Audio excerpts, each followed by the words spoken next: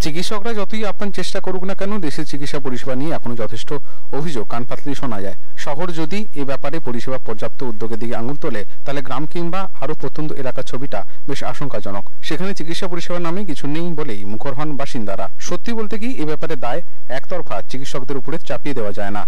তারা তাদের সাধ্যমতো চেষ্টা করেন ঠিকই, কিন্তু দেশের বিপুল জনসংখ্যার দিকে যদি চোখ রাখা যায়, স্বীকার করতে হয় যে এক্ষেত্রে মানুষের সামর্থ্য হার মানতে ব্যর্থ।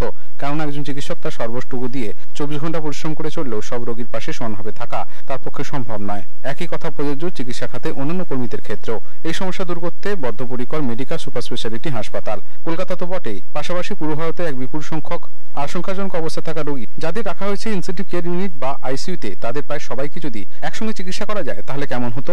শুনতে অবাক লাগলেও মেডিকা এই সংকল্পে এবার হাত মিলিয়েছে চিকিৎসা সংগঠন ক্লাউড ফিজিশিয়ানের সঙ্গে।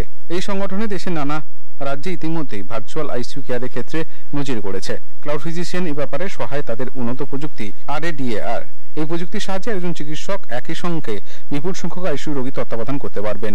এই প্রযুক্তির সাহায্যে তিনি রিয়েল টাইমে অনেক রোগীর ডেটা চেক করতে পারবেন। পাবেন ক্লাউড ফিজিশিয়ানের অভিজ্ঞ চিকিৎসা কর্মীদের পরামর্শ। সেই মতো বিপদের মুহূর্তে শুধু দরকার হবে নির্দেশ পাঠানো, সেই নির্দেশ মেনে কাজ করলেই আইসিইউ রোগীদের যথাযথ পরিষেবা প্রদান করা platform हो क्या है क्लाउड फिजिशियन के साथ? अब इसका फ़ायदा हम वेस्ट बंगाल के लोग को देना चाहते हैं।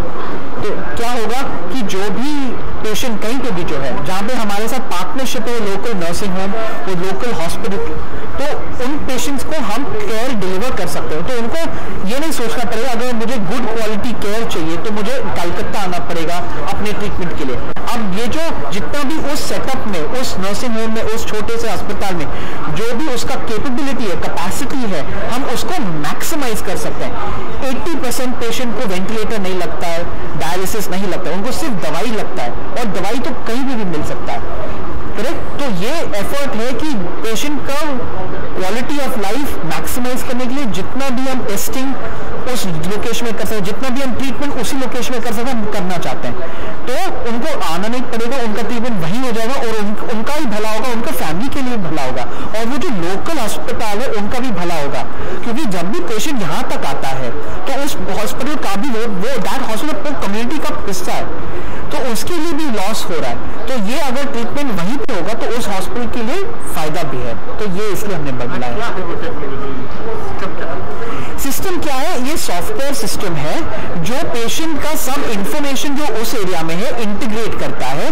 और जो मैं जैसे मैं कलकत्ता में बैठा हूँ मैं कलकत्ता के कमांड सेंटर में बैठ के मैं देख सकता हूँ कि उस पेशेंट का स्टेटस क्या है। मैं कैमरा से मॉनिटर कर सकता हूँ। सोचिए मैं एक कंप्यूटर पे बैठा हूँ जिसपे ब्यूरो रिपोर्ट चैनल टेन शराब